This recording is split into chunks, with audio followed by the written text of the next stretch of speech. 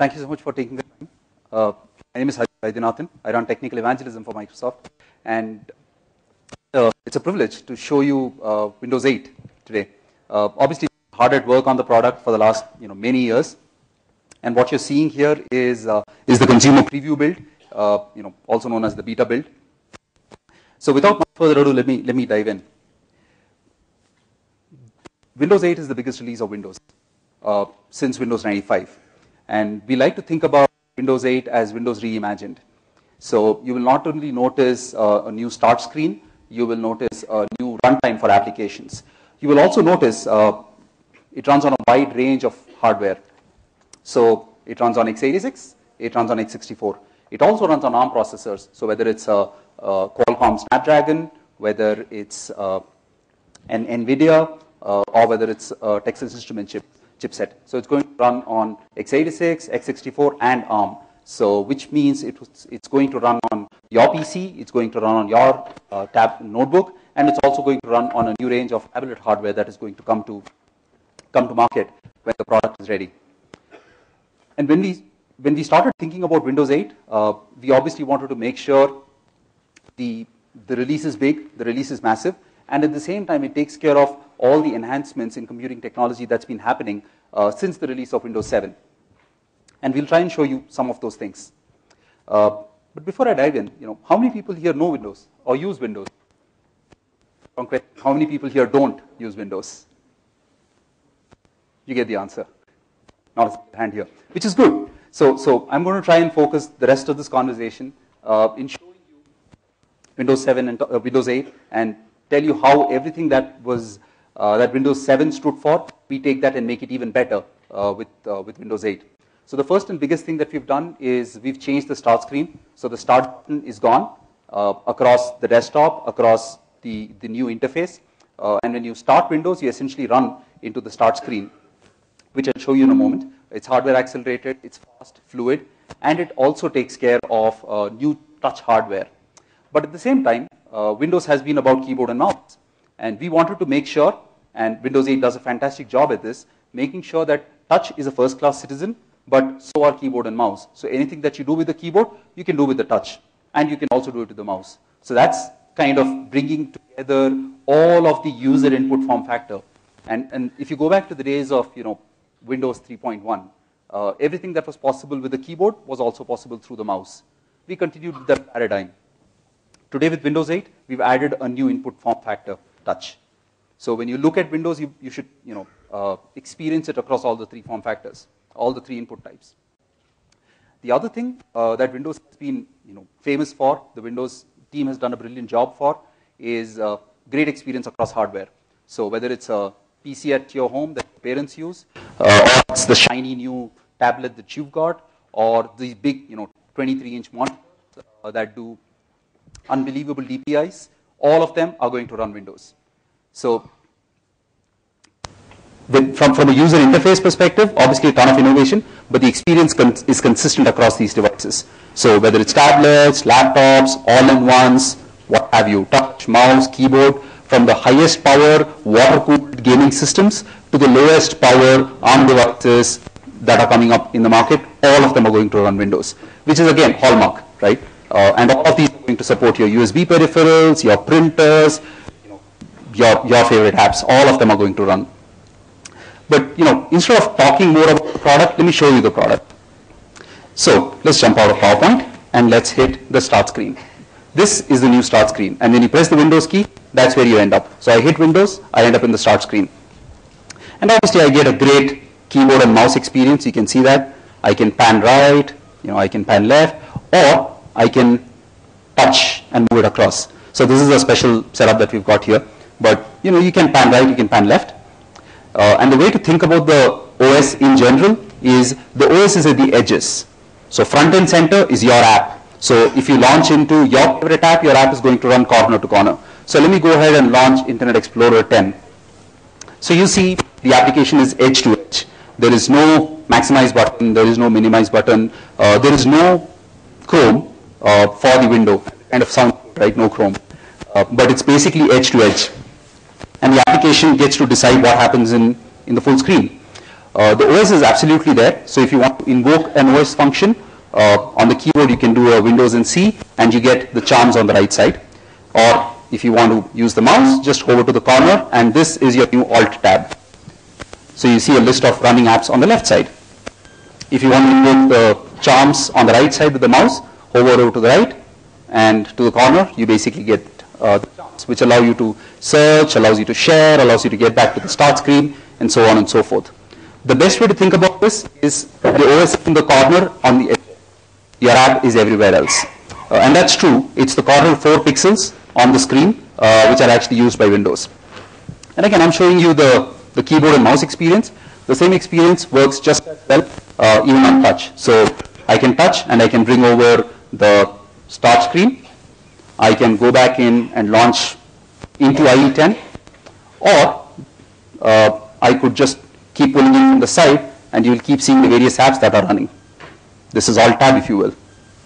Of course, Alt Tab also works. So, you know, you can continue to launch into Metro style apps or work on the desktop. So, so everything that you knew about Windows 7 works just as well here. And again, you know, uh, compare this with uh, some of the other hardware that you have uh, whether it's a tab form factor or whether even it's your, it's your current desktop. These are based on Metro design. So, so the whole user interface is much more modern, much more fluid. And if you pay close attention, uh, these styles are live. These are not icons. And you know, we've spoken a lot about icon-based, uh, you know, user interfaces. They're pretty dated. Right? No guesses, for, no, you know, no prices for guessing uh, that the icon-based approach to computing is is about 1980s when Xerox came up with it. So icon-based approaches, 30 years old. Uh, what we've tried to do with Metro is make it a lot more modern. So you don't have to launch an app to know that you have an email. You don't have to launch an app to find out what's your next appointment. All of that is available right off the application, you know, front screen. And you can see, you know, the photos experience, for example, right? Uh, that moves over as you, as you, uh, or, or, that pans over as you, you know, stick with it. Uh, the other thing, of course, is because this is a touch UI, it also makes it a lot more easier to navigate through all your applications. So these are all your Metro style applications on this side, and then you have all the desktop mode applications on this side. So, so you want to run command prompt? Absolutely, that's right there. So you can do uh, develop a command prompt, you're back into go command prompt, and then hit the Windows key, back over to the Metro style user interface.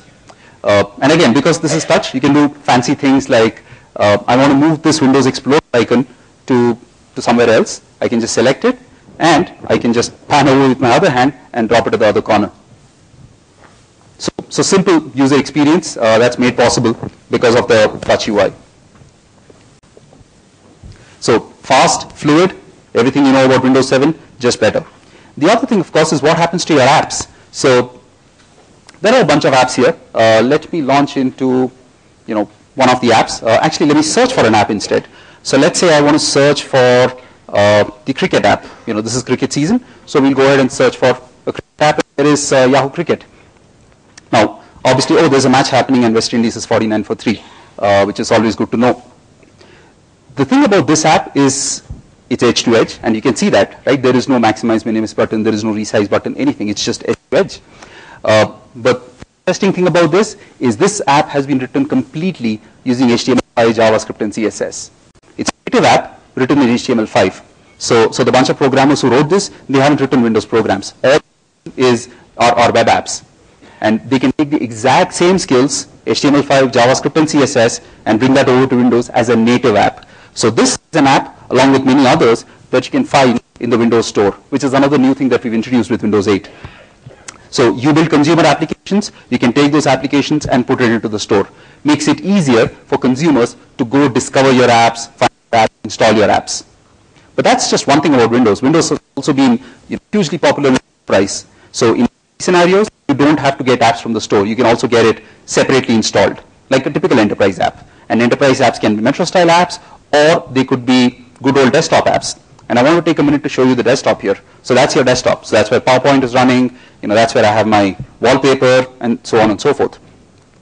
That's, that's one set of, you know, one, one genre of apps. Uh, let me show you another one, Cut the Rope. Uh, I'm sure a lot of you familiar with Cut the Rope, played with it, and let me, let me launch into the So this is again a website, an HTML5 app has also been implemented and it's installed uh, as part of the Windows Store implementation. So we can go cut the rope, uh, and again, works well with keyboard and mouse. So I'm going to use the mouse at this level, cut it, and Nom Nom gets the candy. Wonderful and nice. Now for the next level, let's go ahead and play it with, uh, with the touch experience. Oops, and Nom Nom is going to be very unhappy. Oh, maybe not. So first grade experience of user across multiple input types. That's one thing. Uh, but if you head back into the store, you can see a lot of other apps. So, so yes, we've got Times of India there. You can see that. Uh, you could even do small things like, you know, search for an app. And this is interesting. So we don't want apps to implement search inside that. So if you notice the store app, there is no search button anywhere. You just click an app and you install the app. But if you do want to search it, you can go into the search pane and you can use the touch keyboard here. And we different types of keyboard. We have a thumb typing keyboard, uh, if you can if you can look at the bottom, uh, which is just a pure thumb typing. Of course, could do you know, good old QWERTY. So let's say I want to search for uh, an app that does something with photos. And if you if you look at it closely, the search is actually happening inside the the store. So you can click on photos and you get all the apps in the store that have anything to do with photos. So search experience is available to all applications. You need to implement the search contract. And uh, from, from our work uh, with user interface, we know most applications need search functionality. They also need share functionality. So, so let me get into, let's say, uh, Photo Vault, which is a collection of really nice uh, photos. And I can pick any of those photos, and I can say search, share. In this case, the app doesn't implement sharing. But if you get to another app uh, which does implement sharing, let's say the NDTV app, you can pick a news article and you can get into the uh, share implementation and we can pick whichever apps implement share recipient contracts such as mail or, or Facebook or any of those, you can go ahead and share to those. The other one that I want to show you, of course, is IE10. We briefly went into this. Uh, and in IE10, we've implemented the same fundamental uh, Chakra engine, which does JavaScript rendition and HTML5 rendition. Uh, and the same browser is available both in the desktop mode as well as uh, on, on, in the Metro style interface. So if I were to quickly go back into the desktop mode, I can launch IE, and here is, you know, uh, here are all the Twitter feeds going along, and I, I can get the same experience uh, from inside the Metro style user interface as well. The, the advantage, of course, is in Metro style world, you have access to full-blown touch, and in this particular we implemented in forth. So touch hardware, this is how you would go forward and this is how you would go back. Uh, on the classical desktop one, you obviously have your back and front keys. One other thing that I want to show you, and particularly because a lot of noise has been made about this, is those red squiggly lines that you see in your browser and how IE doesn't implement them. Uh, and this is this is one of my favorite parts, right? So we so we know who came up with the red, red squiggly lines uh, every time you do a you do a, a, spelling mistake goes back to word 97. So we said, you know, we obviously want to implement spell check, but we want to do one better. So play, pay close attention to this demo. So this is such a crazy thing to happen. So not only do we do spell check, we also do autocorrect inside the browser. Uh, I can I can demonstrate some other stuff. So let's say let's do oops that's a correct spelling. So you do wrong spellings, that inside the browser for you. So IE10 with spell check and autocorrect. And obviously it gets, gets better with time. So that's, that's about, you know, touch first UI, OS on the edges, fast and fluid uh, interface that works across keyboard and mouse, as well as touch. And some of the application experiences and how search and share experiences work inside, uh, work inside Windows 8. Now, as the next step, I want to talk to you a little bit about the developer experience. You know, how do you go build apps for some of these things? And for that, I want to introduce my colleague Raj uh, onto the stage. So Raj, come on over. so, you know, the, you know, very briefly, uh, you know, just kind of wanted to cover uh, uh, some of the things that Harish had hinted upon, right? So he mentioned that uh, the Yahoo app was written completely with HTML5 JavaScript. Cut the rope. Uh, you know, do you want to this to what language, what platform that has been built on, like what technology stack that has been built on? Uh, how many of you think it's a native C++ DirectX hardware accelerated, you know, like as fast as you can? Nobody. Okay, the fact that I'm asking the question, I guess you guessed. Uh, it is HTML5, JavaScript, CSS. Uh, so uh, in fact, it's, it's a website, right? So you can go to cuttherope.ie and you can play it on the browser, and it's a Metro style app as well. Um, and, and, and, the interesting thing is, this is a journey that we started with IE9. So in IE9, graphics are hardware accelerated, and the same hardware acceleration is now available in IE10 as well. So, so if you do a graphically intensive site or a game such as Cut the Rope, basically, you know, runs really, really quick, really, really fast. Right. In fact, uh, you know, the, the, funny thing about Cut the Rope is, once they implemented Cut the Rope as a Metro style app, it turned out that the app ran so fast mm -hmm. that, you know, it, it ran too fast, right? I mean, it, it ran so fast it became not usable. So they actually had to introduce some code to kind of slow the frame rate down so that it becomes a usable game that you know people can play with. Yeah, so you cut the rope, you can see the candy falling, right? Otherwise the candy would fall too fast and Om Nom would eat it really, really fast. So slow it down a little bit. Also they had to do that to match the experience on the other platforms. Right, right. So make sure it's consistently slow across all. Yes. Yeah. Um, so just kind of wanted to quickly give you a, a, a sense of you know what the, the, it's like a polyglot environment, right? What is what is the language that you are familiar with, right? Are you a native guy? You know, great. I mean, we've got an entire programming, you know, stack that's that's like built for you. Are you a web developer? That's like, you know, we can build desktop apps with web technologies. Are you a managed developer? I mean, then like that's. I mean, that managed development is Microsoft VB, right? So you are like completely at home here. So, so the first thing I just wanted to kind of show you here. Get these mics off. Uh, and again, this is beta, you know, software. Uh, feel free to download both Visual Studio 11 Beta as well as uh, uh, Windows 8 Consumer Preview, and you can you know you can install this, play with it. If you've got a Windows 7 machine, you know same spec, no additional hardware required. So the exact same system requirements for Windows 7 as well as Windows 8. So I've just gone here and launched uh, Visual Studio 2011. Uh, so what I'll do is I'll just quickly you know uh, build an app.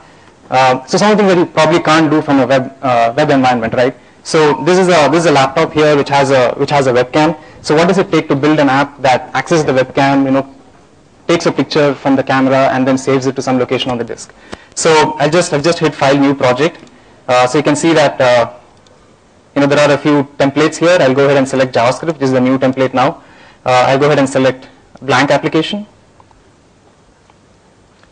And then if you're a web developer, the solution structure that you see here should look really familiar. Yeah, if you could just zoom into the Solution Explorer and show them the structure. Right. That'd be nice, yeah. So let me just zoom right in here. So you can see that you know, this structure is pretty much uh, what you are used to if you're a web designer, right? So you have your HTML, you have your script files all inside a JS folder, you have your CSS, and then you know as you build your app, that's essentially what you're doing. You're creating more HTML pages, you're you know writing your logic and your JavaScript, you're styling it with your CSS and so on. Uh, so it's, it's the exact same experience. The so so what does the platform provide? So for web developers, you have the entire Windows uh, API, the Windows system, which is called as the Windows Runtime or WinRT. You know, that's a probably a term that you will probably hear throughout this conference as well. So WinRT, the entire Windows system uh, interface is accessible to you as a web developer. So for instance, you know, what does it take to build a, you know, maybe uh, capture an image? So what I'll do is I'll go here and uh, open my HTML.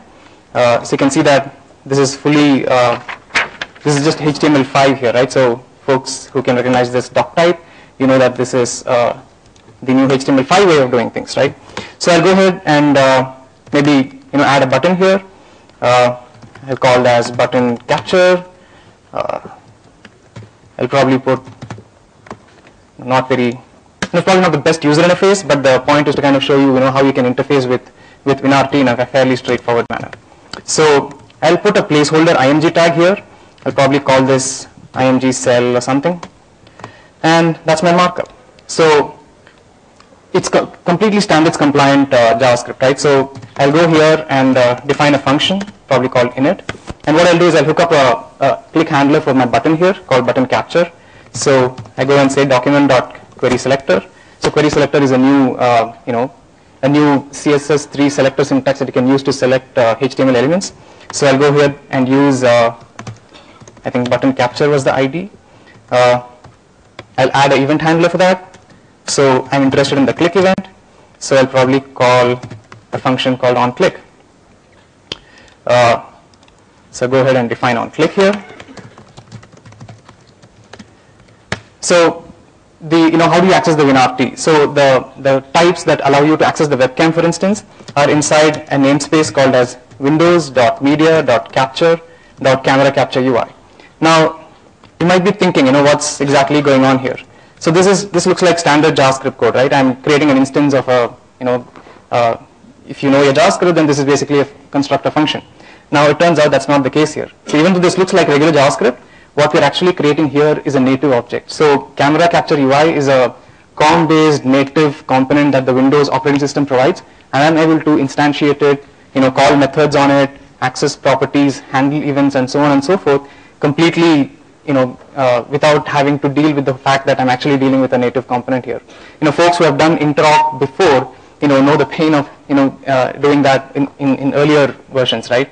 Yeah, Uh, you, would typically do a new ActiveX object and call into a COM component. I mean, if you, if you use that, uh, but in this case, it's it is a COM component, but we've done all the hard work that you can call into any native object from C++, C Sharp, JavaScript in the same way. So in fact, there's a session on the platform, uh, the Metro style platform by Rama. You should probably, you know, uh, take a look at that session where we'll go into further detail about language projection, how this thing looks in C++, C Sharp. So what I'll do here is go ahead and call a method called capture file async. So this is basically is the method that captures the image from the camera. Uh, In an asynchronous manner, obviously, like the method says. Yes. Uh, so since this is a this is an I/O operation, right? So any so one of the things that you will probably find uh, you know repeated to death is fast and fluid. Now the the reason is it's a user experience uh, thing, right? So we don't anytime an application does not respond when I go touch it, it's broken, right? The user feels like wait, you know, our app is hung, right? So that's something that we absolutely do not want the users to see. So any API, any function call that does an I/O uh, operation or anything that can block would become an asynchronous call, and you know, handling async in JavaScript, C Sharp, and C++ has been, uh, you know, made really, really straightforward, elegant. The pain of doing, you know, asynchronous uh, development is pretty much taken care. of. Anybody who's written async code knows writing async is really, really hard, especially the portion you call back, right? Uh, and when you, when you look into each of these three languages, C++, managed, as well as JavaScript, you realize you can write async code that looks synchronous, and that's what you're going to look, take a look at. Exactly. So here, all I'm doing is I'm saying calling the capture file async API, and then, you know, I, in fact, it, this sounds like English, right? And say, and then call this function. And that function essentially is the callback is going to get invoked when the async call completes. So here, you know, basically I get the file that was captured as a, as a parameter here to the callback. So all I need to do is take this and assign it to my image tag, right? So I'll go ahead and acquire a reference to my image. Uh, I call that img cell. So what do we need here? I need to set the src property for that to this particular file. So one thing that I'll do here is I'll use a HTML5 feature called as url.createObject URL, which allows me to, uh, you know, acquire a URL which I can as- assign to uh, an image src property uh, for things like, you know, for example, if you have a blob, right, and that blob represents an image, how do you show it on, on your markup? You say url.createObjectURL. So in this case, this is a storage file object. This is a WinRT object, and I, I want to assign that image as the reference to my uh, to my HTML image element, then that's how you do it. Uh, so that's pretty much it. One additional thing that we'll have to do is uh, so there's something called as a package manifest where we have to declare that this particular application intends to use the webcam, which is basically a security. Uh, you know, basically that's the thing that when you go to the store, you might have seen what all capabilities this app requires. It will say that this app requires access to your webcam and the user gets to choose whether they want to install that app or not. So that's where you declare that you know this app needs access to the webcam. So simple capabilities. So is your application going to access camera? Is it going to access your location? Is it going to access your sensor? All of that are capabilities that you describe in the package manifest. So- Again, a simple checkbox in Visual Studio. Right. So I just went and hit F5. Uh, obviously not the best looking UI, you're going to see. So I'll go ahead and click uh, click here. Okay. Uh, I wrote a nice function and everything. I forgot to call the function. Forgot to call the init function. So I'll go ahead and call it. So that's hook, that hooks up my event handler and everything else. So I go and hit. Uh, so even if you declare that your app accesses the webcam, the system will still, you know, this is a prompt that I have no control over. This is something that the Windows operating system is, uh, you know, putting up to the user. You obviously, you know, this is a good thing because you don't want applications spying on your camera without spying on you without you knowing about it. So I still get to choose whether I want to provide access to the camera or not. So you know, That's pretty Raj. that's yeah. and uh, I'll go ahead and click a picture, and I'll hit OK, and then you know that whole picture got rendered on the on the IMG tag. You know, so the end result kind of seems anticlimactic, but not pretty, not pretty, not as pretty as I Exactly. want it to be. Uh, but what's really happened here is, you know, we have used JavaScript, web technologies, and we've actually used, uh, you know, the Windows operating system APIs in a completely seamless fashion, right? Anybody who looks at this code, you know, as a web developer, you probably feel completely comfortable with it. Um, the one last thing that I would probably wanted to show you is how does this code look like uh, from C Sharp and, and C++. So I'm not going to sit and type that whole thing here again. Uh, so in fact, I did this yesterday evening to, you know, uh, to see how this would, this would work. So here is a C++ example. I know this looks like a lot more code. That's uh, mostly because I didn't. Uh, But, but this feels natural for a C++ developer. Absolutely. So here basically we've used the task parallel library, the TPL, to do essentially the same thing. So you can see that I've done a ref new of the camera capture UI object. I call capture file async. In fact, this looks a lot like JavaScript if you notice. So I'm creating a task object here and I say task object.then and I provide a lambda method. So this is C++11, right? The latest spec uh, of the C++ standard, the latest revision of C++ standard. So I have provided a lambda method here and I access the storage file. Uh, here I'm doing one more step. I take that file and put it in the in the pictures folder, and finally assign it to my to my image here. So I load it into a bitmap image, and this is C++. So here it's not HTML. Obviously, you're you're Get you XAML instead, which is beautiful. you get XAML instead, right? So if you are familiar with WPF and Silverlight, then you're completely comfortable doing UI both in C Sharp and C++ because it's the XAML that you know and love. So here I've created a button and uh, image in my XAML, and then I just assign that here. What does this look like in, in C Sharp? This is probably best of the best of the lot, at least from a, and and that makes sense because C Sharp is a is a is a language that has been optimized for developer productivity. And it's, it's the newest of the languages, really. Right. So here you can see that there is essentially the same code looks like that. So here I create a you know a camera capture UI object. I call capture file async, and all that asynchrony is you know hidden behind this magic keyword called await. Uh, so as soon as I call this, you know the rest of this is going to get uh, automatically taken and you know created as a callback, and you know that's going to get invoked. So, so the code is entirely written synchronously. You would imagine that the lines of code execute serially, but the moment you put in the await keyword, everything after that goes into a callback. So it, it's asynchronous code written synchronously. Think of that. So you know so that was essentially the the same scenario that we've implemented in three different uh, three different languages. Pick the language that you you are most comfortable with. Cool. Thank you so Thanks. much. Thank you. said about, hey, you know, touch hardware is here, where is, where is Windows and so on. Uh, and I also wanted to just take a minute and share with you what's the size of opportunity when we talk about Windows.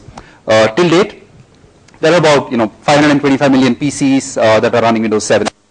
All these 525 million machines out there are all going to be able to run Windows 8 because we've kept the hardware spec exactly the same. Even if we don't sell, you know, new machines, which obviously we will. And at this point, I want you to sit back and think about the scale of the opportunity, right? A lot has been said about, said about hey, you know, you've got these tablet devices from that food company, you've got these other uh, phones that are coming up and so on. These are real numbers, right? So till date, 234 million Android phones out there. Add Android tablets, another 16 million. iPhone devices, you know, another 112 million. Add iPad, another 40 million. Add Mac machines, that's 30 million. Real numbers. You add all of them together, you know, 247 million. Uh, Android devices, 152 million. iOS devices, you add both of them together, it's still smaller than the number of Windows 7 PCs that are there today. That's the size of the opportunity. So you could add all of these together and you're still smaller than the install base of the last operating system. This does not include stuff that we've sold before Windows 7, so Windows Vista, Windows XP, Windows 3.1, Windows 95, Windows 98, not included. This is just the last version. So the call to action? The call to action quite simply is, you know, target Windows because this is the biggest developer opportunity ever that's for any developer in the industry. This is the biggest. Uh, in terms of download, you can go to preview.windows.com and you can download Windows 8 uh, Consumer Preview. You can also get Visual Studio 11 Beta. All of that is free. It is also unsupported because of the same reason. Uh, but I encourage you to go build your apps and bring them to the Windows 8 store. Soon our uh, stall, take a look at the hardware that we have there and feel free to ask questions. Thank you.